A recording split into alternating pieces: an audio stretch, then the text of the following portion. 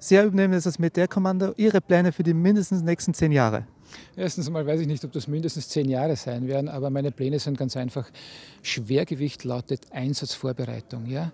Hier äh, die Einsatzvorbereitung im Land in engster Abstimmung mit der Politik, mit den Behörden und Ämtern und Blaulichtorganisationen. Dann das Bundesheer, wenn es geht, noch besser aufzustellen, material- und personalmäßig.